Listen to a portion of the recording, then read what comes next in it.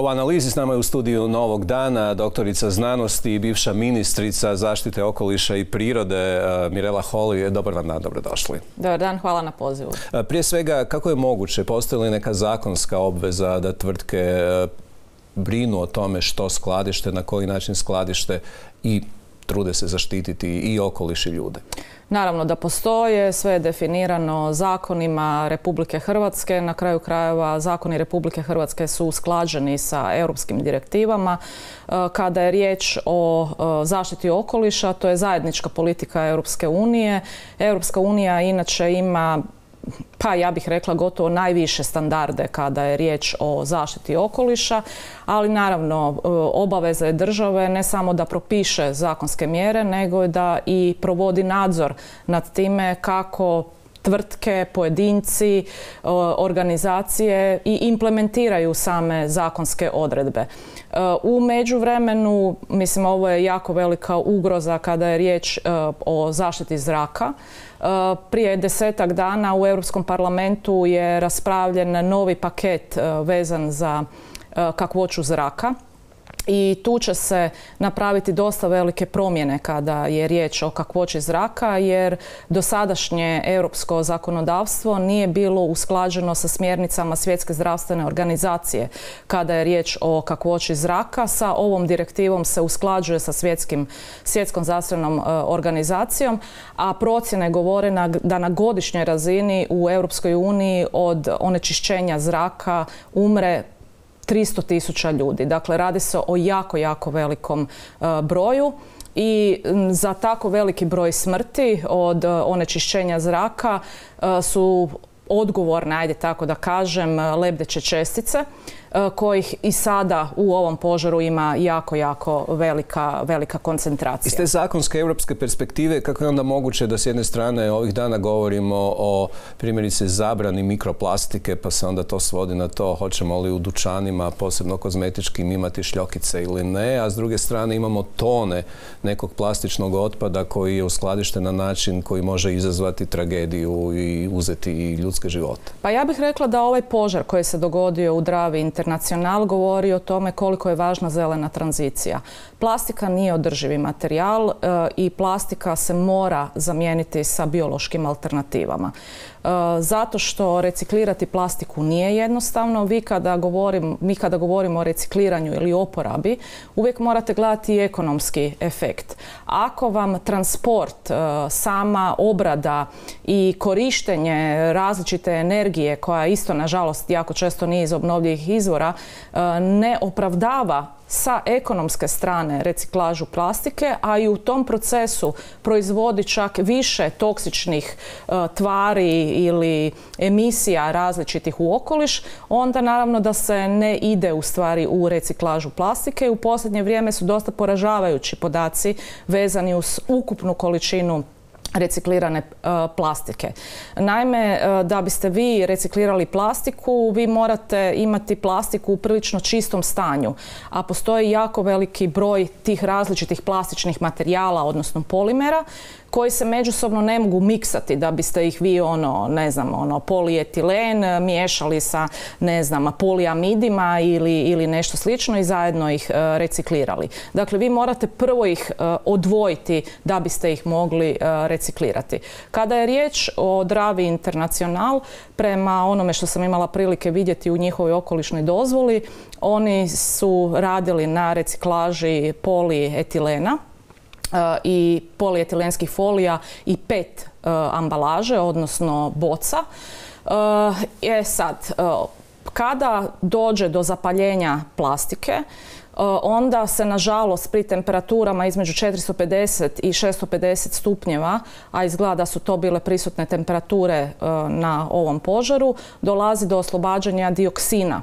A dioksini su u stvari najveći otrovi, odnosno izrazito su toksični plinovi e, koji su uz to e, kancerogeni, e, izazivaju cijeli niz različitih teških oboljenja poput sarkoma, mekih tkiva, zatim limfoma, karcinoma želuca, oni su jako stabilni, e, topivi su u mastima, e, pa se i dugo, dugo godina u stvari nakon što ćemo zaboraviti već i na ovaj požar, može očekivati da ćemo posljedice ovog požara e, konzumirati kroz životinsku hranu, naime kroz mesne prerađevine ili slično. Je li jučer učinjeno sve što je trebalo da bi se zaštitili okoliš i prije svega zdravlje ljudi? Jesu li zaista ugrožena samo ona područja koja su bila direktno zahvaćena dimom ili je opasnost puno šira i veća? Pa mislim u okolišu je sve povezano, dakle i sve kruži. Ne možemo reći da su sada ugroženi samo isključivo uh, ti dijelovi. Uh, na kraju krajeva proizvodnja hrane u Slavoniji se distribuira i u druge dijelove Hrvatske, ne samo u dijelove Hrvatske, nego i izvan Hrvatske, tako da je to dosta teško reći sada. Naravno da su ljudi koji su tamo lokalno prisutni i pogotovo koji su bili na smjeru vjetra e, najviše e, sada pogođeni sa ovom ekološkom katastrofom, ali kažem u, u okolišu je sve međusobno povezano, svi smo mi u stvari dio jednog lanca, tako da ne možemo sad reći da je, da je to gotova priča. Vjerojatno će se morati micati tlo, e, direktno kontaminirano sa ovim e, požarom. Dakle, tu definitivno ima ugroze svih e, čimbenika i sastavnica okoliša, znači i zraka, i tla, i vode. Kako su reagirale nadležne službe? Pa meni je jako teško to reći. Čini mi se da što se tiče vatrogasne službe da se dosta dobro organizirala. Imali su i tu sreću da je smjer vjetra bio takav da nije išao prema e, samom Osijeku, nego je išao, koliko je meni poznato, južno u stvari prema, mislim sad to može zvučati jako ružno prema Bosni i Hercegovini. E, ali kažem, to vam nije, nije sad to rješenje, razumijete? Mislim, u ne znam, 80. i prije godinama, 70. su se pokušavale spriječiti e, posljedice za zdravlje, štetne posljedice za zdravlje ljudi različitih postrojenja, time što su se gradili jako visoki dimnjaci na energanama, na različitim industrijskim postrojenjima. Međutim, vi na taj način u stvari prebacujete otrovne e, tvari, plinove i slično na udaljenija, na udaljenija mjesta. Tako da sve to, u stvari, svi smo mi uključeni u to. Naravno da su neki u ovom trenutku više izloženi tome, ali e, posljedice ovoga će se dugotrajno još osjećati. E, kad govorimo o ovom incidentu, mnogi upozoravaju, čuli smo ljude da ovdje nije riječ o prvom požaru, već o trećem koji se dogodio na tom području. E, je li tko u međuvremenu zakazao da bi zapravo spriječio mogućnost da se dogodi ovakav katastrofalni, ogroman požar koji ni jutros nije do kraja ugašen? Pa ja bih rekla da su definitivno zakazale inspekcijske službe i tu prvenstveno mislim na inspekciju zaštite okoliša koja se sada nalazi u sklopu državnog inspektorata. Meni je apsolutno nevjerovatno, barem ja nisam vidjela, da se državni inspektorat jučer uopće nije oglasio o, ovom požaru. E, naime, s obzirom na činjenicu da ovo nije prvi požar u Dravi Internacional, nego da se radi o ako sam dobro čula, trećem požaru u posljednjih par godina. Bez obzira na to, ja ne sad uopće ne, ne dovodim u pitanje da li je točno ili nije točno da je taj požar namjerno Isason. Kada bi bili e, sigurnosni protokoli takvi e, da sve dobro funkcionira, onda se sigurno ne bi moglo baš tako lako dogoditi da netko namjerno izazove požar. To je zapravo jedno od zanimljivih pitanja. Vidio sam ga, ljudi ga postavljaju. Je li ovo e, slučajno da se ogromne količine nečeg što bi trebalo biti otpad pa onda preraditi, zapali, izgori i upozorava se da su se takve situacije događale na drugim deponijama u Hrvatskoj. Može li se o tome zaista ozbiljno razgovarati? Odgovarati kao potencijalnoj sumnji da se takve ogromne količine otpada jednostavno namjerno zapale? Pa ja doista ne mogu uh, govoriti o tome da li je to točno ili nije, ali činjenica je da mi dosta često imamo slučajeve požara gdje gori otpad i to kod reciklažnih tvrtki. Podsjećam, dakle, imali smo u Zagrebu, u, skladištu Ciosa isto takav uh, požar. Ne jednom, ne jednom. Je li ikada utvrđeno do kraja što je bio uzrok i što su bile posljedice takvih Pa koliko je meni poznato nije do kraja utvrđeno šta, šta se točno dogodilo. Zagreb je imao još jednu jako veliku ekološku katastrofu kada je gorila spalionica opasnog otpada Puto. I to je bilo, ako se dobro sjećam, ja sam u to vrijeme radila u Ministarstvu zaštite okoliša, e, bio ljudski faktor. Mislim da je jedan od zaposlenika bacio čik ili tako nešto što je mislim apsolutno nevjerovatno i to pokazuje u stvari da sigurnosni protokoli koji su trebali biti ono poštivani e, u samom takvom postrojenju nisu bili poštovani. Ne? Ali kažem, to je uvijek odgovornost onoga koji je vlasnik i koji je u stvari odgovoran za normalno funkcioniranje takvog postrojenja. E, čini mi se da ste otvorili još jedno važno pitanje, a to je primjerice tko je zaposlen i u kakvim uvjetima ljudi koji tamo rade, rade i žive na tom području. E, kakva ili kakve su informacije u tom dijelu, postoje li certifikati, znanja koje bi ti ljudi trebali imati radeći na takvim poslovima? Pa definitivno, znači uvijek vam postoji taj e, element e, zaštite na radu i općenito tih sigurnosnih protokola koje ljudi koji rade u takvim postrojenjima moraju e, poštovati, ne samo u smislu nošenja zaštitne opreme i slično, nego i sigurnosnog postupanja. Ako se ne varam, prethodni požar koji se dogodio dogodio u Dravi Internacional je bio e, kada je prilikom pospremanja, odnosno premještanja jedna od radnica koja je nažalost i smrtno stradala ubacila u kantu gdje je bila smjesa za proizvodnju šibica nekakvu metalnu šipku i došlo je do iskre i eksplozije. Dakle, da je sve odrađeno kako treba, da su oni dobro i kvalitetno educirali e, svoje zaposlenike, upozorili ih na to sa kakvim tipovima materijala uopće rade i sirovinama, moja je pretpostavka da se takve tragedije onda ne bi događale. Ja ono, pretpostavljam s obzirom da se požari dosta često događaju u Dravije Internacional, da definitivno nešto nije u redu sa poštivanjem sigurnosnih protokola. Imamo li ovog trenutka informaciju je li riječ o stranim ili domaćim radnicima i jesu li bili smješteni i živjeli u krugu zapravo e, tvornice? Pa ja naravno ne znam, nisam inspekcija, pa ono, čula sam ovaj, iz medija da se radi o stranem uglavnom, čini mi se da imaju petinu, ako se ne varam, oni imaju oko 500 zaposlenih, ne, dakle petina bi trebala biti, ako sam dobro shvatila, strani zaposlenici, uglavnom iz Nepala.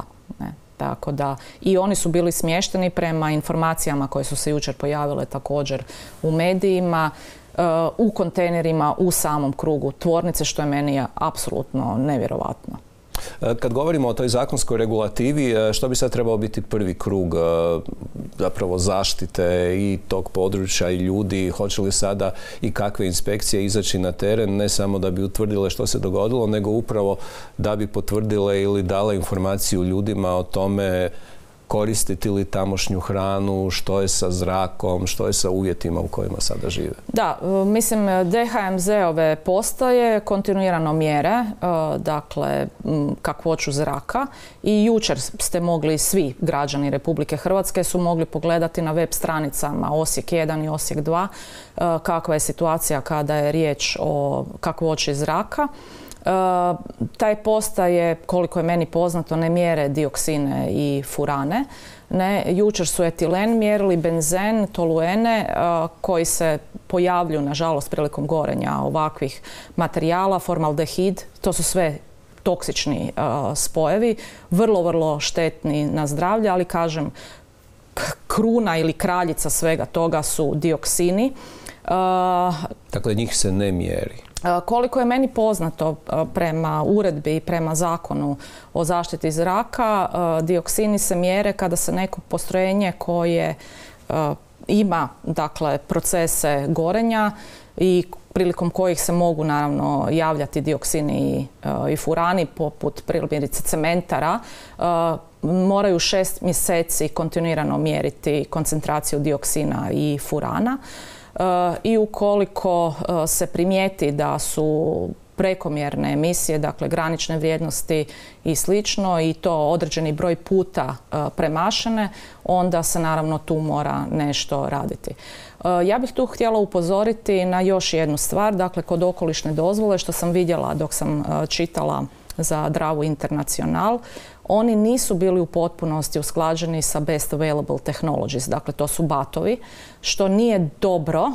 Ja kao ministrica iako su procedure, ljudi često misle ministar može bilo šta. Ne može ministar baš, dakle, okolišne dozvole se donose pregovaranjem i tu vam sudjeluje cijeli niz različitih u stvari institucija koje nisu naravno sve smještene u Ministarstvu zaštite okoliša. Primjerice u vrijeme dok sam ja bila ministrica zaštite okoliša vam je vodni sektor bio u ministarstvu, poljoprivrede, e, energetika je bila u ministarstvu gospodarstva, šumarstvo je bilo u ministarstvu poljoprivrede. I onda vi kada gledate te različite čimbenike okoliša i djelovanja na okoliš se mora u stvari pregovarati oko toga. Ja nisam htjela potpisati neke okolišne dozvole, iako su druge institucije e, dozvolile e, da ispod zakonski propisanih standarda sa jednom postrojenju dozvoli da to. Na mene je bio vršen pritisak od strane drugih e, ljudi iz vlade da zašto ja to ne želim potpisati i sve. Ja sam rekla da smatram da Hrvatska treba imati standarde iste kao u Europskoj uniji. Ako ista ta tvrtka u svojem postrojenju koje je slično u Mađarskoj poštuje standarde koji vrijede u Europskoj uniji, da se mi ne možemo ponašati kao Burkina Faso. I na kraju su riječi bila u stvari o emisijama u vodu su poštivani u stvari zakonske odredbe. Ali, kažem, u ovoj okolišnoj dozvoli isto tako nije u stvari sve usklađeno sa best available technologies, što ja mislim da je nešto što mi u Hrvatskoj sebi ne bi smjeli e, dopuštati i trebali bismo barem poštivati one zakonske odredbe koje vrijede u Europskoj uniji, a kažem kada je riječ o kakvoći zraka, tu smo ispod standarda svjetske zdravstvene organizacije, to će se tek sada u stvari promijeniti. Proširimo to onda malo. E, treba li Hrvatskoj ponovo posebno ministarstvo koje bi se zaista bavilo samo zaštitom, okolišem, klimatskim promjenama, zelenom tranzicijom? Pa, dakle, kako vidite sadašnje funkcioniranje ministra koji je zadužena za ovo područje? Pa ja bih rekla da mi imamo danas Ministarstvo gospodarstva i održivog razvoja. jako vam ovisi koliki je senzibilitet osobe koja je na čelu tog ministarstva. Ministar Filipović je ekonomist i vidi se da je njegov bazični interes u području gospodarstva a da su mu pitanja koja su vezana za zaštitu okoliša, zaštitu prirode, u stvari manje bitna. I energetici koja je jako, jako važna, mislim energetika je kada je riječ o zelenoj tranziciji jedna od najvažnijih u stvari sektora koje, koje treba, on pristupa tome više iz pozicije gospodarstva, a ne iz pozicije zaštite okoliša. A kada je riječ o drživom razvoju, ključan je taj u stvari balans, odnosno ravnoteža između stupa gospodarstva, odnosno naše ambicije da se i dalje na neki način gospodarski razvijamo, zaštite okoliše i resursa, ali i ono što se najviše zanemaruje poštivanja društvene pravde, odnosno uh, interesa šire zajednice. To vrlo zanimljivo, ako se sjećam iz vašeg mandata, upravo um, najveći sukob, nazovimo to tako, je dolazio iz uh, strane ministra gospodarstva, odnosno potpredsjednika vlade Čačića kao nekog ko je gurao neke projekte, a s druge strane e, vas e, koji ste štitili neke odredbe zaštite zakona o prirode i svega ostalog. E, sad je to riješeno u jednom ministarstvu. Je li to dobro ili loše za vladu ako želi biti ozbiljna i efikasna? Pa ja bih rekla da bi to bila super e, pozicija kada bi bio neki ministar koji ima senzibiliteta prema zaštiti okoliša i koji razumije i cirkularnu ekonomiju i biogospodarstvo i kreativnu ekonomiju i koji bi pomirivao u stvari radio na tom održivom razvoju, ali nažalost mi imamo uvijek takvu situaciju da je kod nas uvijek najvažnije gospodarstvo a daleko su manje Je li globalno zbog e, ekonomske krize rata u Ukrajini e, svijet odustao od e, nekih od planova koje je imao i oko zaštite okoliša, i oko tranzicije, i oko zelenih politika? ponovo se otvaraju postrojenja koja su trebala biti zatvorena nekim planovima o zaštiti okoliša i prirode. Govori se da je puno važnije imati izvore energije, struje, plina, nego štititi prirodu po svaku cijenu. Pa je, nažalost, vidjeli smo to i u Europskoj uniji kada je zbog rata u Ukrajini došlo do energetske krize. vidjeli smo da se dogodila i renesansa ugljena, što smo ono mislili da je apsolutno nemoguće da se dogodi, da je došlo ponovno do revitalizacije ideje oko nuklearne energije i to ne nuklearne energije bazirane na tori elektranama koje nažalost nisu niti razvijene, ali na onima koje su služile u stvari u korist ratne industrije, plutonij i uran. E, tako da vidimo te nekakve negativne trendove što se vidi na kraju krajeva i kroz emisije. Naime, emisije u Europskoj uniji 2022. godine su bile za 5% više nego pred pandemijske 2019. godine, što je jako, jako veliko zvono za uzbunu, ukoliko se gleda da si je sama Europska unija postavila cilj da smanji emisije stakleničkih plinova do 2030. za 55% u odnosu na referentnu 1990. godinu. Dakle, vidimo taj jedan retrogradni e, trend koji nije, nije dobar. Još jedno pitanje za kraj. Ponovo će tri velika hrvatska grada ili tri najveća hrvatska grada plaćati penale jer nisu uspjeli dostići onaj kriterij za uh, odvajanje. otpada. Uh, zanimljivo Osijek je među gradovima koji je uspio dostići taj kriterij pa se događa ovakva katastrofa. Uh, kako vidite uspjeh ili neuspjeh godine dana novog modela odvajanja prikupljanja otpada u Zagrebu? Pa ja nemam apsolutno ništa protiv da se ide sa poštenijim e, naplatom odvoza otpada, međutim ovo nije reforma. Reforma je nešto što podrazumijeva građenje sustava od temelja.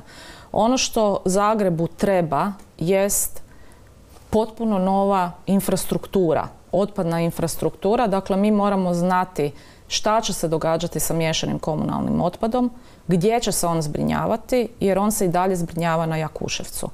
E, kada je riječ o e, dakle selektiranim e, frakcijama otpada, mi moramo vidjeti, evo ga recimo primjer vam je plastika. Imate 50 50 različitih vrsta plastika. Gdje se ona sada u Zagrebu? E, to je dobro pitanje. Mislim, ona se, koliko je meni poznato, predaje CIOS-u i to za cijenu oko 180 eura po toni za Gdje se čuva i skladišti? E, to je sad dobro pitanje. Kažem, zato što tamo imate jako puno različitih vrsta, vrsta plastike. E, ta plastika mora biti u čistom stanju da bi se mogla dalje e, oporabljivati i reciklirati. E, obično se to radi ili ljudskom snagom, znači vi imate nekakvu tamo traku na kojoj onda ljudi prema vizualnim sortiraju, što nije baš dobra stvar. E, I imate naravno mehaničku, biološku mogućnost e, odvajanja tih otpada sa kompjuterskom spektrografijom, negdje se po određenim omjerima svjetlosnim ali slično odvajaju određene frakcije e, otpada, ali kažem, s obzirom na to da mi nemamo niti infrastrukturu za obradu svih tih kategorija otpada, postavlja se pitanje šta se s tim u stvari otpadom, ne samo sa plastikom, nego i sa drugim frakcijama otpada uopće događa. Hvala vam na razgovoru. Hvala vama na pozivu.